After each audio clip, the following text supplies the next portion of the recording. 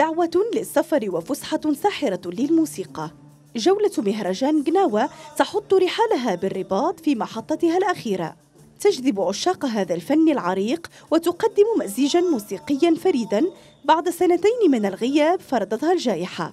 الجولة تجمع ثلة من كبار معلمي قناوة مع موسيقيين عالميين مشهورين في سياق حفلات المزج. اليوم راه فرحان زعما بزاف حيت الحمد لله festival صويرة جات عندنا لهنا الرباط. وهذه المبادرات دارت على اربعه ديال المدن كاين الناس اللي ما تقدرش تطلع دابا في هذا الوقت هذا. والحمد لله جات الدورة للرباط باش نتمتعوا في في هاد اليومين ديال ال festival. اليوم غادي نلعبوا واحد واحد الريبرتوار اللي حاولت كيفاش ندخل حتى قناويت معاهم في مسائل ديال الجاز. وغادي نعيشوا اليوم بحال شي ما كاينش فيها لا تمرين لا والو ولكن كاين الروح بيناتنا. اليوم غادي يكون حفل مشترك آه، بين بزاف ديال ديال الفنانين. آه، فبالنسبة لي أنا أنا غادي غيكون العرض ديالي مع آه، المعلم القناوي السي حميد القصري و le contrebassiste Avishai Cohen donc اليوم غادي يكون مزج ما بين الأنماط الموسيقية ديالنا بثلاثة وجي اد ديتر سور سين إن شاء الله.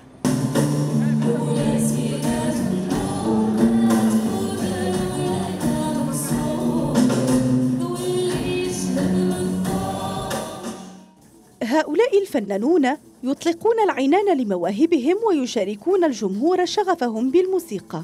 من خلال إحياء خمس حفلات بمسرح محمد الخامس بالرباط على مدى يومين. هذه الدورة هذه اللي كانت سابقة لأنه دورة استثنائية جات من بعد هاد من بعد الاعتراف ديال اليونسكو بالفن القناوي. تقرر باش تكون هاد هاد الرحلة هذه اللي حاولنا باش نقربوا منها للمعلمين في في مختلف المدن مراكش دار بيضاء صويره الرباط وكنتمناو ما تكونش آه، هي الأخيرة لأنه كاينين قناوة في المغرب كامل و... مهرجان قناوة مشروع ثقافي متنقل عبر عدة مدن بالمملكة.